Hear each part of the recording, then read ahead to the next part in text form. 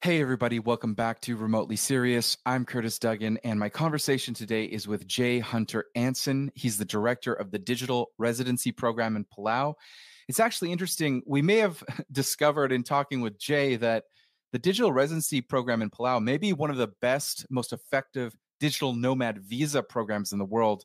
On previous episodes, we've talked about how certain digital nomad visa programs or remote work visa programs aren't the best or most flexible for digital nomads. And it looks like the program, of which Jay is a big part in Palau, is really nailing it. The the criteria and how it works is something that I think will be of great interest to digital nomads and remote workers. So we'll talk about that program. We'll talk about Palau, and uh, yeah, let's jump in.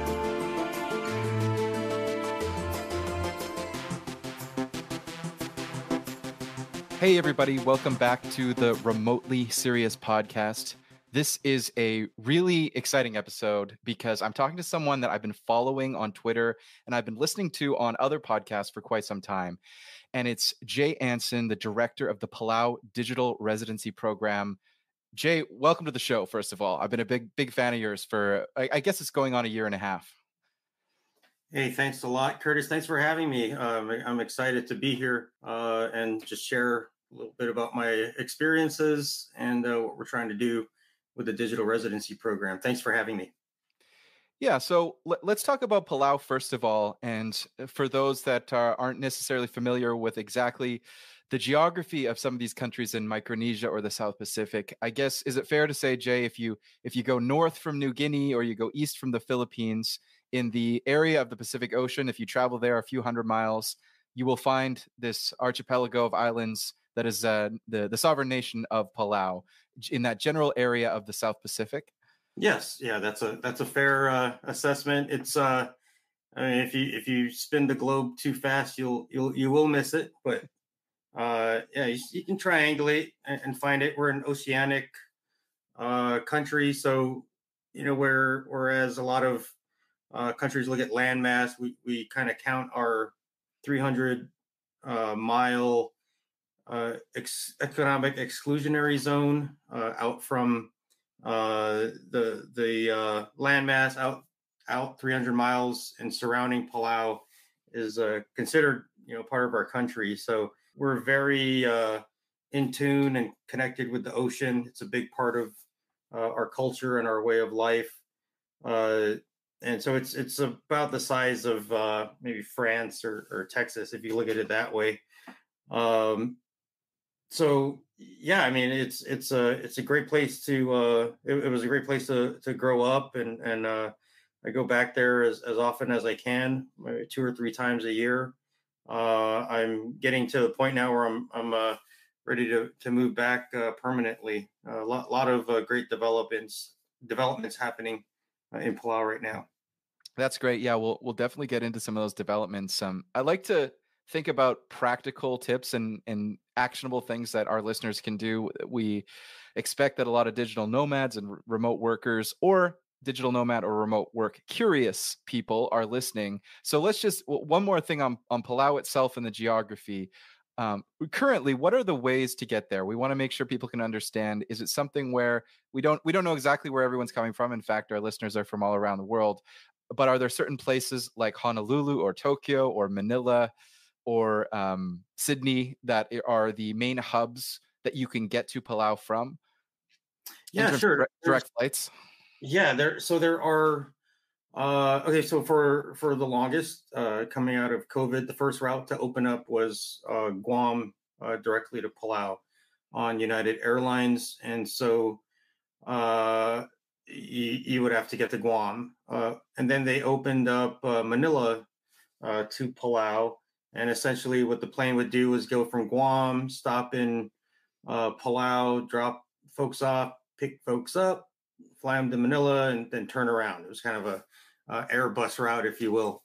Uh, now uh, we have, and so that's the route I would take. So I'm I'm in I live in Florida, South Florida. So I'd go from Fort Lauderdale to Houston, Houston to Honolulu, about a 45 minute layover in in Honolulu, just enough time to get some fresh aloha air, and then back in the airplane uh, to Guam.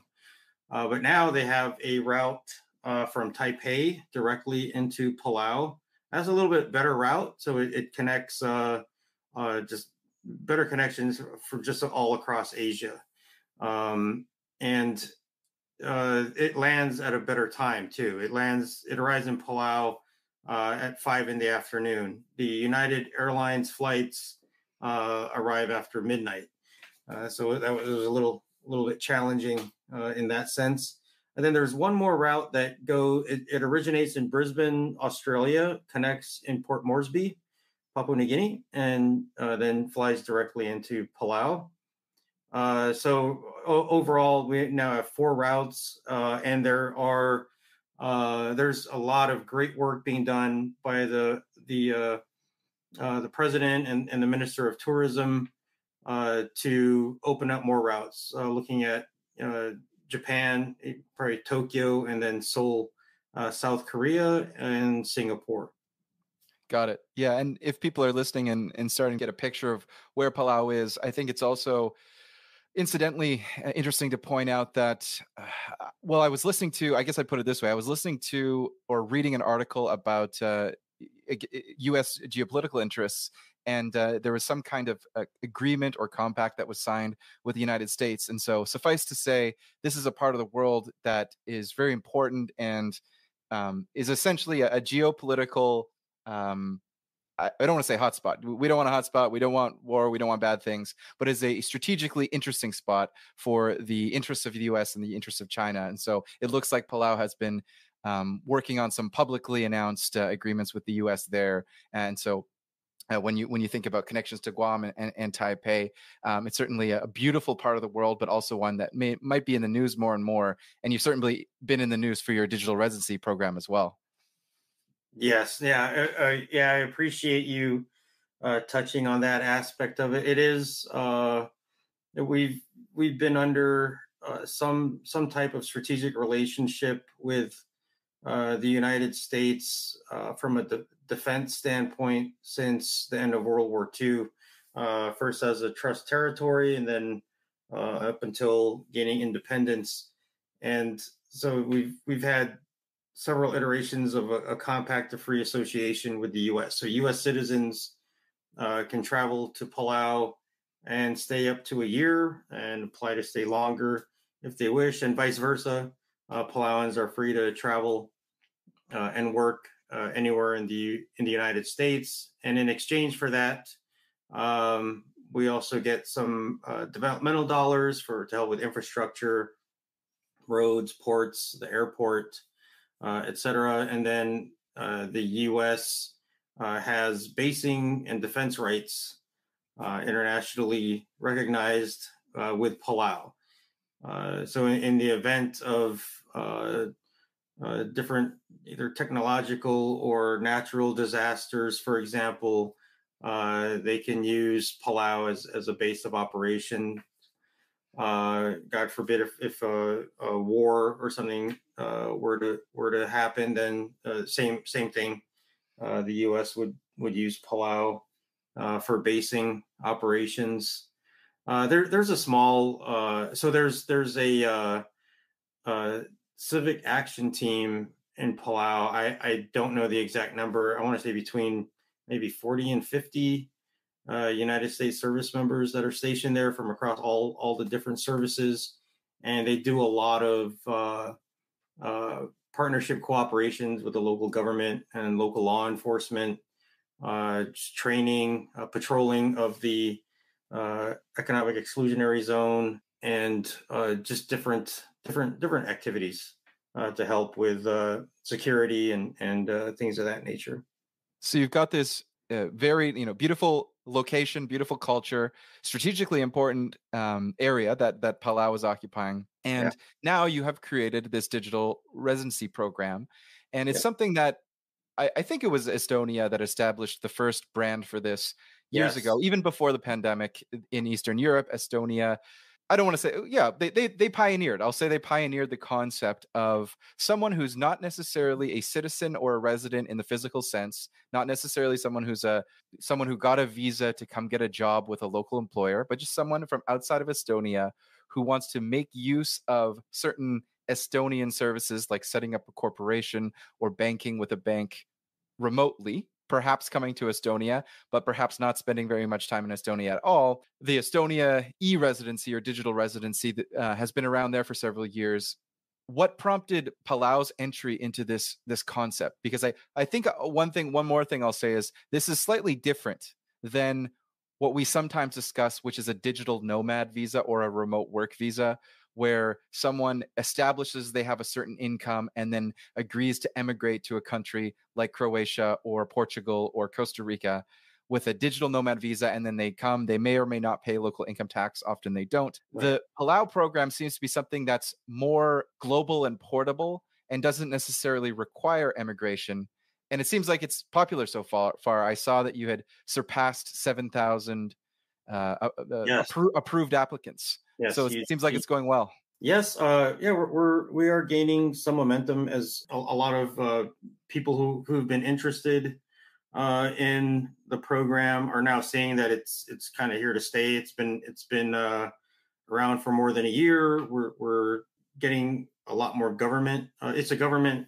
First of all, it's an official government run program. There's a law uh, that established the digital residency program. This isn't a private uh, entity's scheme or or business venture uh, or anything like that. So the uh, what well what really what sparked the interest was with you know a, a lot of uh, Palauans and and Palauan government leadership. You know they were, they were looking at what was going on uh, with Hong Kong and other other financial hubs in that part of the world, right? So and what they saw was you know there was a little bit of turmoil with with uh, and and uh, uh, competition with China and and there was a lot of like new restriction it was becoming more and more restrictive uh, to do business and and travel to and live in those different financial hubs so they were really first looking at the fintech aspect of it and maybe creating Palau uh, building Palau up into a financial hub they finally got a uh, Palau finally got a uh, fiber optic cable. They'd been satellite based uh, for for so long. Uh, they, they finally got a, a, satellite cable in 2015, or not, I'm sorry, a fiber optic cable in 2015. Uh, so they had high speed internet. They they have a fiber ring that goes around the island. They're they're in the process of upgrading the network. The Palau National Communications Corporation has a grant from the United States to to do that uh, and they have a second fiber optic cable that'll that'll provide redundancy. So they really looked at it strategically and economically and said, you know, why not try to to build this up, right? Uh, but then COVID COVID happened. Uh, Palau immediately shut their borders to protect everybody. Uh, they they were one of the few uh, countries that they like during the height of the pandemic there was no COVID uh, in Palau because they did that. Uh, but unfortunately, what that did was it, it, it negatively impacted tourism.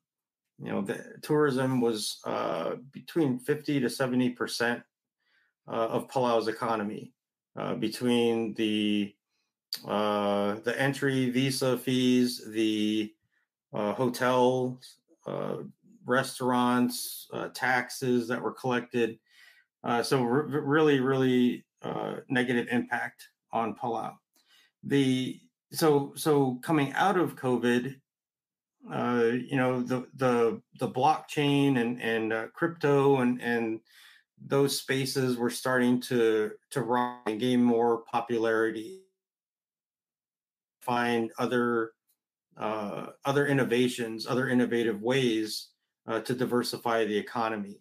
And so, uh, what our current president, President Whipps, did was he he really dug in and did a, a a close study of what what is involved with this. If you if you ever listen to his uh, his podcast and and some of the interviews where he's talking about, he's very knowledgeable uh, about the industry and the innovation and the potential that it has and and everything that can be done. So uh, they had a, a, a, couple of bills introduced uh, and they were modeled after the Estonia e-residency program uh, they, I mean, they, they just have a fantastic uh, program. They've been at it for years.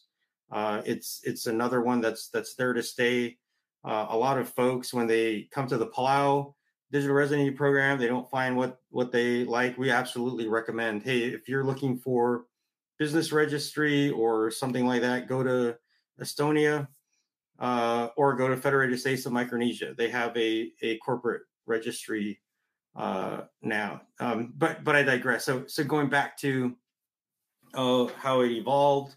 Uh, we, we we got the digital residency law in, passed, and then in uh, it took us a couple of months to get fully operational, but by February of, of uh, 2021, uh, 2022, uh, we had the, the program up and running and we were signing up digital residents. I, I didn't come on board until June uh, as the director. Uh, we had about uh, 700 digital residents at that point. Uh, and then we made some tweaks to the AML KYC uh, software we were using, uh, just you know, just tuning and, and make, getting the program uh, where it needed to be to really uh, hit our pace with onboarding digital residents, and and uh, you know, it's just slowly grown and and uh, gained momentum. we're we're steadily seeing about between 25 to 50 signups per day, and and we're working uh, in parallel to that to get the the marketplace uh, set with more ancillary services that digital residents uh, are looking for. Yeah, I'm seeing that the Palau ID is accepted by some brands that are on the RNS.ID website. Yep. California DMV, T-Mobile, Airbnb, Hyatt, CVS, Turkish Airlines, Costco. I love shopping at Costco. So that's that that's great. It's it's not just something that's used to go to the bank in Palau or or go somewhere locally in Palau. There are these brands that are accepting it as a global globally accepted ID. Part of that s- seems to be these partnerships, or I, I, shouldn't say partnerships, but these associations or um, memorandums with uh, the with with Web three entities or or crypto exchanges. And I know that a couple of years ago, they were very popular. You list exchanges like crypto.com and Kraken and BitMEX, Wise, the payments transfer company. These are all listed on your site. How has it been in the last few years where two years ago it might have been very popular and unambiguously uh, seen as a sort of technologic technology forward thing to associate with certain crypto companies in recent uh, in the post FTX world and in recent times yeah. certainly the United States SEC has gone after exchanges in the US and and the the brand of certain crypto exchanges and web3 in general is maybe in a bit of a wane or in a bit of a winter period. How have you dealt with that where something that was very shiny 2 years ago in terms of a brand is now a little bit tarnished? Does that factor into your strategy and and what overall is the um the goal of associating this with with web3 and blockchain technologies as opposed to just having it in a Palau database on a server without any crypto, without any uh, blockchain, without any Web3. What's the strategy there? Yeah, so so the the the strategy has always been the to to leverage the security of the blockchain, right? So so what a lot of folks uh, so there's there's a lot of uh, you know I I, call them uh, so I was in the military. And we used to call them barracks lawyers.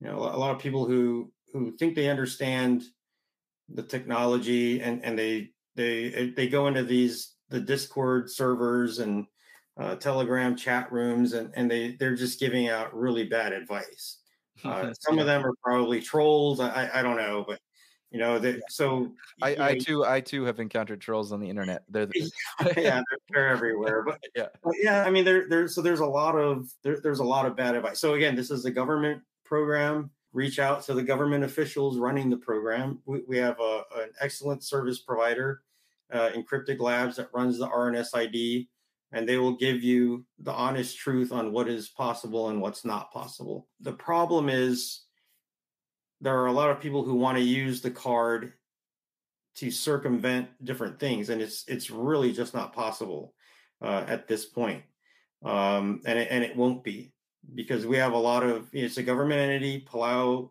is a a, a good steward of uh, regulations and laws, and so we're not looking at providing a service where you can circumvent the laws uh, and regulations of, of your own country. We're trying to provide a uh, a globally accepted uh, identification and platform uh, so that you can do different you can you can have access to different services that maybe aren't available in your country. Uh, so for example we're we're we're almost done promulgating the mailing service uh, regulation and so if you live in a country that doesn't accept amazon or amazon doesn't ship to uh, you can get this mailing address and you can have uh, packages and, and letters and mail forwarded. Uh, you can have, uh, we, we want to get to a point where, depending on the success of, of that service, uh, do the digital scanning of people's mail and send it to them. So it's, you know, it's, it's faster, uh, cheaper, and uh, it's just more available globally. And so, does this work for the KYC? Is it such that if someone has gone through professional, high standard KYC pro, and maybe just for our listeners, KYC is an acronym that stands for Know Your Know Your Customer, which is in in the financial sector and in financial industries and in fintech industries. It's basically the idea that uh, you can't just give banking and crypto services out to anyone.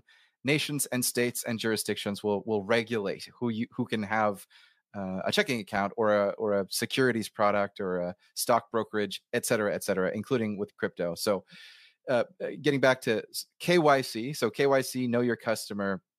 if someone has gone through the KYC process on Kraken or Wise or Crypto.com, is the process then that they can kind of uh, sign on through that or leverage that almost like you sign in with Google or sign in with Facebook to a website the KYC they've gone through on Kraken and crypto.com can kind of support their Palau application. Is that how you're leveraging the block? Is it's that actually, one of the use cases? Yeah, it's actually the, the other way around. So those those platforms accept the Palau ID because I see, I see. Thank you. Yeah, we provide the KYC uh, service already. So if you if you uh, apply to one of those uh, uh platforms with the Palau ID, they, there's already a memorandum of understanding that hey, they, they they've accepted uh, our standards for due diligence and and and know your customer and anti money laundering uh, screening uh, to and and so they'll it, just it just makes it easier. So the the other thing with with with the card, it, so there's there's we're we're uh, we're we just finished beta testing uh, the NFT, and there's a a uh, I guess a competition right now that we're asking for uh, artwork to design. We're asking for for NFT artists to design uh, what the digital ID will look like. That that uh, has been extended to the 24th. Uh, so we're, we're we're receiving submissions. We're we're really excited a lot lot of great work is being submitted but if you're if you uh, are listening and and you have an idea and, and you want to design something and, and send it to the rnsid team uh, we look forward to getting getting even uh, a larger portfolio of uh, artwork to to choose from. Uh, so there's the the digital id and then the the hard copy uh, you know I, driver's license style id card and, and that id card uh, itself, there's if you go and, and Google anti-counterfeiting technology that can go into a ID card, it's all in there from micro printing to the hologram to uh, just like all of the different the the chip. The, I mean, it's it's very very uh, secure and and just the latest technology uh, is integrated into that card. So uh, that's that's another reason why it's it's accepted. It's all the security, uh, not just the then not just the the the AML KYC, but the card itself. It, it cannot be counterfeited. Got so it. the the uh, the other thing was uh, for for the AML KYC. It's it's there's very strict laws in Palau. Uh, I, I, had mentioned, uh, you know, that we had tried to we so we submitted two bills to Congress uh, back in the fall of 2021. One was the digital residency program. The other one was a corporate registry bill. That bill wasn't passed because it just didn't have enough AML KYC protections in it.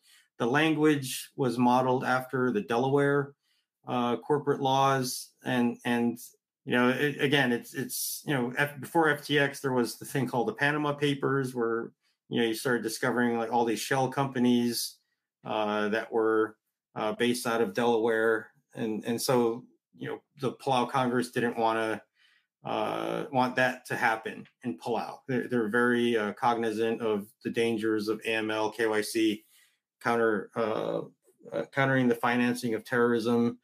That's that's definitely a high priority. So the the corporate registry bill is it's been going through a couple of uh, iterations of of uh, being redrafted. Uh, unfortunately, we've had like a turnover in, in legal advisors over the past year, but it, the the core registry bill is back with my office, and and I'm working with a paralegal to to redraft the outline and we're we're modeling it after just like we modeled the digital residency program after Estonia's e-residency program. We're we're looking at uh, Federated States of Micronesia and the British Virgin Islands, uh, looking at their corporate registries uh, because they they have a lot of uh, AML, KYC, uh, digital assets. Um, things of that nature baked into their programs and, and it's it's exactly you know the the route we want to go. So until we get ours online, definitely check theirs out uh, if it works for you, along with the the Estonia e-residency. Uh, by all means, it's it's a it's an entire community, and and we're all just trying to uh, use the the technology that's uh, in play now with the blockchain and everything to like kind of kind of be more more global and more remote what is the ultimate goal or a second or third phase of success? A, a first phase MVP is definitely to build out the technology, make it you know high grade security and then count the signups that are coming in and that seems to be growing and growing is the is there an ultimate goal of this entire program to say have people come and get comfortable with Palau as a digital resident, maybe moving a mailbox or a bank account or using the ID for certain services like Airbnb. And then because they have this association with high quality services and a forward thinking technological program for for governance in the ID in the in the residency program that they might move to Palau, start a business in Palau, become a taxpayer of Palau. Is it thought of that way as a funnel for people eventually physically becoming a resident in the end? Yes. So yeah, yeah, no, that that's a that's a great question, and and that's that's kind of exactly uh what what we're what we're looking at, right? So, um, yeah, we started with the, the technology. I explained, you know, the technology in the card. We're using the blockchain, of course. Uh, our, our first regulation was a cybersecurity regulation you know, we wanted uh, digital residents and and everyone involved or interested in the program to know, uh, hey, this is exact. It's spelled out exactly how we protect your data and what we do with it, uh, which is really we store it. we don't we don't uh, do anything with it. It's it's there as uh, as a backup uh, to what's what's located on the blockchain. Uh, and then there's, if you go on the RNSID website, they have uh, under the terms and of use, and there's it spells out exactly how they use the data to help provide better services. Uh, really, but not, nothing is sold, nothing is uh, traded. We we do penetration testing and vulnerability assessments of of all of our technology to make sure that it's it's safe and secure and can't be hacked or breached so then then the next the next thing we did is we took a look at Palau's immigration laws. Uh, there, so there's no path to citizenship uh, right now. Uh, the only way to be a citizen of Palau is by birth. Uh, so so we we took a look at okay what what are we doing for what what's there what what exists now that we can take a look at and maybe use to help digital residents uh, especially the digital nomad community. It's it's a huge uh, community of folks who, you know, I, I love that lifestyle of just being able to, hey, you know what, I'm, I'm in Croatia from May to August, uh, September. It starts getting a little chilly. by October, I want to go somewhere warm, uh, you know, pick up and go to Thailand or go to, uh, I don't know, Singapore. Why not come to Palau?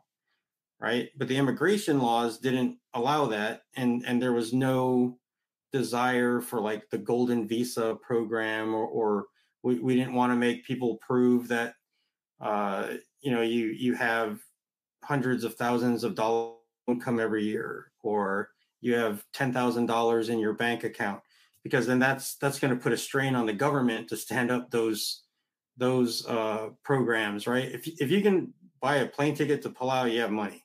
It's it's not it's not that cheap. Um, but at the same time, if you get to Palau, you don't want to just stay there. After spending all that money, you probably don't want to stay there just for a week or two weeks. You want to get you know the more bang for your buck. Uh, so that's where we, we thought digital nomads, you know, the the way they they operate, you know, work remotely. Uh, it, it, was a is a perfect program to try and support. Uh, so we've amended the uh, immigration regulations for Palau to allow digital residents who are digital nomads to they can apply for up to two 90 day extensions past whatever their visa on arrival is and it varies from from country to country. If if you're you have a Japanese passport, for example, you can you, your visa on arrival is good for 30 days. Well, now you can extend for 90, and if you want to stay longer, another 90. Uh, if you're from you're from one of the European Union countries, it's 90 days. So you know the same thing. So you know European Union, you can potentially stay in Palau. Help me with my math. Yeah, 270 days. And then you know if you're from uh, uh, Japan, you know, you can stay up to uh, 100 and. Uh, so the the digital residency yeah. program with this amendment, uh, in combination with some baseline visa, essentially means that uh, people can come to Palau, stay somewhere between uh, a month and even all the way up to what it sounds like six or seven months, uh, based yeah. on some of the baseline countries, yeah. and they can work from their laptop. That's legal. That's on side and yes. they can um, and and and they will not be subject to to income tax as well during their time there, or will they be subject to income tax? Uh, if, if, they decide to get a job in Palau, then you know they'll they'll they'll pay Palau taxes. But if their their job, you know, they, they their job is in Germany and they're just living in Palau for six months, then they just pay whatever their country charges them. Yeah, you know, you know what I'm thinking, Jay, as I, as I listen to this, I think this is really the best digital nomad visa in the world. And I'll tell you why. Just eh, the reason is because I don't know if you've been following this, but there's this debate about digital nomad visas and remote work visas. So I referenced them, I think, once already on this episode. But s- separate from digital residency programs, there are these digital nomad visas that are more like apply, give us your information, prove your income, and you can kind of quasi emigrate here when I say here, I mean, you know, it could be Croatia or Portugal or Costa Rica. Like I yeah. mentioned, there's, there's, probably 30 or 40 or more like this. And it, right. but it's really, you know, it's about emigrating and moving from your home country, uh, cutting ties with your tax residency in your home country, whether let's say the UK or Canada or somewhere, and then right. coming over and resettling in Portugal on a digital nomad visa for one year what digital nomads complain about is we really just want something that isn't about making a huge commitment for a full year. We want to be able to legally like we used to be doing in a gray area because that's what that's the that's what's the that's the elephant in the room in the history of digital nomads in the last 6 or 7 or 10 years is you know for a long time they were just doing it on tourist visas and right. hoping people look the other way what yep. digital nomads want what i've had full you know a half of an episode talking with a digital nomad ac- advocate on this is like we we just want this to be simple. We want to come in, we maybe want to stay three or four months, but we d- we don't want to have to worry about uh, committing for a year and then renewing for another year.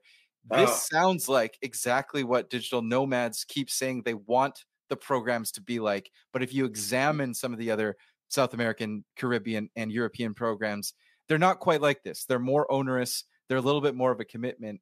And, and it, this seems to offer some flexibility to simply come in and out for 60 days or 90 days. Obviously, pending or based on whatever your your baseline allowance is under on the underlying law of Japan versus the EU versus right Canada, etc. Yes, no, that that's exactly right. Uh, so so Palau is open to to all countries with the exception of North Korea and Iran, uh, and and that's based on uh, you know Palau is a member of the United Nations uh, and in our Compact of Free Association. Uh, we in in that sense because they're they openly support uh, terrorism. That's why they're they're blacklisted from Palau. But any other country if you have a passport, you can fly to Palau and a visa on arrival. You don't have to go to an embassy and apply for a visa. You don't have to pay anything for a visa. You just buy your plane ticket, you arrive in Palau, and they will tell you how long your uh, visa on arrival is. And so, with the digital residency program, if you are a Palau digital resident with a Palau digital residency ID card and your passport, you can fly to Palau. If you you get there, you, you say your visa on arrival is good for 30 days. You know, after about three weeks, you're like, you know what, this is really chill. Internet's good. I can keep working uh, while I'm here in, in tropical paradise. Bonus if you're a, a scuba diver, Palau is one of the. It's the seventh underwater wonder uh, of the world for a reason. There's a lot of just awesome sea life and, and undersea uh, creatures. It's a shark sanctuary, sea turtle sanctuary. The Palau National Marine Sanctuary uh, encompasses 80% of that, that economic exclusionary zone. So it's, it's a protected uh, marine sanctuary. Uh, there's uh, what, Jellyfish Lake, uh, a lot of I can, I can, go on and on about the diving there. I, I love diving in Palau. I, I I'm, I'm I may be biased, but I've dove in you know a couple dozen other countries. Doesn't doesn't compare. Sorry. Uh, probably yeah. uh, the Great Mayan Reef in in Mexico yeah. off of Cozumel comes close. Uh, but yeah, Palau is just is great. So so if you you get to Palau, you want to stay there, then you go to the immigration office, say, hey, I, I have a digital resident ID card uh, here's my passport, here's my digital resident ID card. I want to stay another 90 days. And you don't have to stay there the whole 90 days. If after 60 days you want to leave or after another month something comes up, there's no obligation. You, you can go ahead and, and leave. And then once you you leave, you can come back and then do your visa on arrival, start the clock again, and then apply for your 90 days, 90 days. If you go and you stay the whole visa on arrival plus the 290 days then you have to you have to break up your stay uh, and leave unless there's some other situation or circumstance that the immigration regulation allows for you to stay longer. Like you you get employment or something uh, or you lease land and say you know what? I just want to stay here for a couple more years. So it's so it's super super flexible and what you mentioned is exactly the the positive feedback uh, and the recommendations we were getting from the digital nomad community uh, to to really simplify the change to the regulation to make it flexible for the digital nomad community. So, for our listeners who are planning workations, planning their next trip, and essentially, you know, this is a this is a form of destination marketing. It's funny. I was at I was at the Running Remote conference in Lisbon, and I'm starting to see more of destinations actively going out and and and undertaking the same kinds of activities that tourism boards would do. Tourism boards obviously go out and market, you know, the Costa Brava and and Croatia and Japan and all in all kinds of places, Mexico, Maui. They go out and market these places as tur- tourist destinations, and you know, digital nomad and remote work destinations used to be somewhere that was that was talked about or you got information about on internet forums or on websites where other nomads were talking about it. But now more and more countries and cities and destinations are actively creating campaigns. So with that kind of thing in mind like we're doing destination marketing for a a practical workation going from the so the vision the vision is scuba diving tropical paradise easy high tech you you fly in in you know no hassle and you can get going and enjoying your life and enjoying the weather and enjoying the culture for a couple months. Practically though let's say someone's planning this what, what does it look like in terms of uh, accommodations and co-working spaces? What can people expect? Uh, is it a country that has large hotels or is it more something where you might go seek out a short-term rental in someone's home or are there uh, resorts? You know, there's all you know. We see it in in in places with nice nice weather. We see all kinds of of strategies for accommodation all across the board, from super authentic stay in someone's home to a completely purpose built all inclusive resort. You know, when you think of Mexico or Cuba or, or that kind of thing, what right. can people expect practically in terms of I want to spend two or three months in Palau? What you know, budgets budgets differ, but what you know, on a uh, a decent middle class, you know, uh, you know, they have to be reasonably well off and earning some income in order to go take take a trip to Palau. But what what can they expect from the the accommodations that are available? No, it, it really runs the gamut of of what you mentioned. Uh, there's Airbnb there. There's uh, very high five star luxury resorts uh, with with all the amenities, uh, or you can rent a one bedroom apartment or a studio and go that route. Uh, you know, where you're you're actually living there, paying your own utility bill, and you know you're just living as as you would anywhere else. Uh, everywhere has has uh, internet, uh, cell phone service is is pretty good.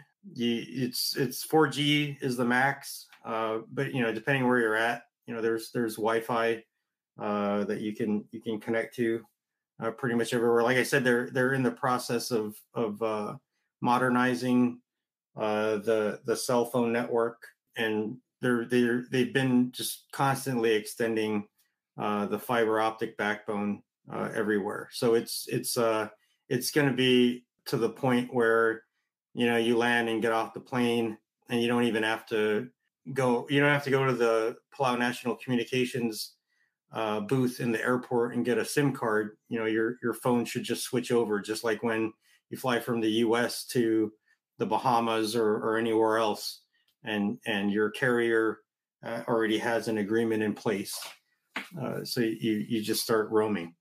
Got it. Do people come to the to um, when people visit? Do they generally come and stay within uh, urban areas on the biggest island or islands?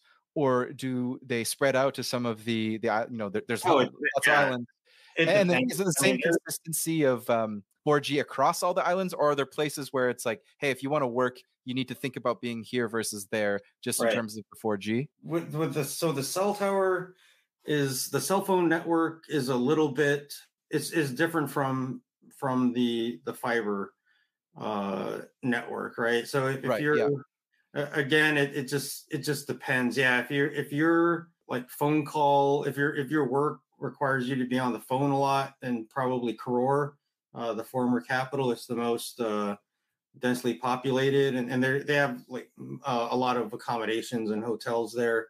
Uh, but but I'll tell you that when you know tourists come in or, or digital nomads come in uh, to Palau now it, it runs a gamut from you know they're they're either hauling all this scuba gear with camera equipment, uh, or just the regular families there for family vacation, or people just you know they they bring nothing but a backpack and they're going to go uh, out to you know some of the more remote areas of Palau and and either camp or uh, just rent. Uh, they, have, they have bungalows, uh, mangrove uh, uh, bungalows. They have uh, just just a whole whole different, a very wide variety of uh, places to live. There, there are over. Uh, so, so before COVID, we had a little over fifty thousand tourists every year uh, visit Palau. Uh, that that number is slowly rising. I think we have we're at about fourteen percent now of, of that, and with the the opening of the different air routes, it, it's slowly increasing. Uh, but there's also a pretty large expat community in Palau of around 2,000 expats from all over the world. Uh, so uh, it's it's very safe. It's it's they're they're very friendly to, to foreigners. It, they're very friendly to tourists. Uh, everyone's very warm, very accepting. I mean, you have your you know when when there there's almost no like capital crime in Palau. Like if if there's a, a murder uh, or something of that nature, it's a big deal because like it's almost unheard of. Palau so small, it's it's really you, you can't you can't. I mean, I, I, grew up there. You can't you know commit a crime and get away with it. Someone someone will see you and someone will tell your mom, and then you're you're going to be in in big trouble. So it's it's uh uh you know it's a very tight knit community. They're they're very welcoming uh, of outsiders. They love sharing their culture and their island. And so like like as a, for digital nomads, I mean it's it's going to be one of the better uh, experiences, I think. As maybe we get close to wrapping up here, is there anything about the cuisine or the culture of Palau that's just a a must do? Don't miss it. Have a certain dish. Try a certain activity that uh, is is authentic and, and can really uh, help someone who's uh, if so, someone's you know first weekend in Palau They've set up the internet. They've walked around. They bought some groceries. They've done their, you know, they had their meetings. They're on a workation, and it's Saturday, and they really want to just say, "I'd like to go." You know, I want to get like the, the best entry point into Palauan culture. What should they do on that that that first weekend? So there's a uh, night market at the uh, Japan Palau Friendship Bridge, uh, but that, that's uh, I believe it's every Friday Friday night and Saturday night, if I'm not mistaken. But you know, just you know, going there, they usually have like a lot of cultural dances, uh, you know, live entertainment, and then the the different arts and crafts. Again, people are very friendly. You know, if you if you strike up a conversation with them and and you know ask them about uh, Palau, they're they're happy to tell you, happy to share with you as far as as food, I mean, there's eh, just if if you if you love seafood, you're going to be in heaven. I mean, a- anything from uh, the you know, fresh lobsters, fresh fish, clam, you, you know, you name it. it, it's it's there, and and it's prepared really really deliciously in in many of the restaurants in in Palau. I mean, and then there's also the bizarre. Like if you're a the guy that eats the weird stuff, uh, uh, Andrew Zimmerman. Mm-hmm. You know, that, so fruit bat is actually a, a, a, very fruit bat soup is a is a, a popular dish with Palauans, and so if you're an adventurous eater and, and want to try that, uh, you can get it in, in many of the the the restaurants in Palau. The but I mean, there the, the, the cuisine. It's it's like there's Japanese, Chinese, uh, and there's a, a really nice Indian restaurant other than that, you know, any, anything you can find uh, in the U.S. Or, or, other parts of the world, they'll have it in in Palau. That's an amazing place to end off this episode. Just hearing about the, the Japan and Palau friendship bridge. You know, I really, I really hope in the in the the decades to come, uh, you know, we, Palau can grow and grow it, uh, its uh, its brand, if I can use the marketing term, but but really grow this program and have more digital nomads and remote workers come to this region. And uh, you know, in in 22 years, we'll be we'll be celebrating 100 years of uh, friendship and peace in uh, in the in the Pacific, and uh, and really seeing this part of the world become somewhere where, if in a world where we all have Apple Vision Pros on our heads and we can work from anywhere, well, we can work from Palau, and that'll be a, a great place. So I've got a a bright vision of uh, visiting Palau in the coming uh, in the coming year, and uh, also. Let, let me know where you're going. Oh yeah, I definitely will. Yeah, it, it's one of those things. Uh, when I was at Running Remote in Lisbon, you know, I I went to a presentation by the team from Buenos Aires, and I was thinking, oh, Buenos Aires is interesting. I, I, I may go to Argentina sometime. But then by the end of the presentation, I was like, oh, I, you know, I kind of want to go there sooner now because they've they've sold me on it. And I think the same thing has happened here, where if I thought I was going to Palau in the next couple of years, now it's like, how can I go in the next year? Just hearing about this, uh, you know, all the, the progress of this program, and then just the the vision of uh, of a workation in Palau seems very enticing. Absolutely. Thanks so much, Jay. I really appreciate it. If uh, if people want to see you on the internet or follow you on the internet, is there somewhere that they should go to follow your work? Yeah, de- definitely. Uh, rns.id. That's the uh, website for where you can uh, follow and register uh, or just get on the ma- mailing list. We have uh, over 90,000 uh, folks registered uh, on the mailing list, and then you know slowly but surely they're they're submitting their applications uh, to become digital residents. Uh, we also have a government website. It's palaugov.pw forward slash DRO. we put program information and we also publish all of our uh, regulations that we're passing for the different services. Uh, in particular, the uh, Im- the change to the immigration regulation is on there. It spells out exactly what digital residents uh, are eligible to do now. So thank you very much. Thanks for having me. Really appreciate the time. We'll add that to the show notes. Thanks, Jay, so much, and uh, have a great night.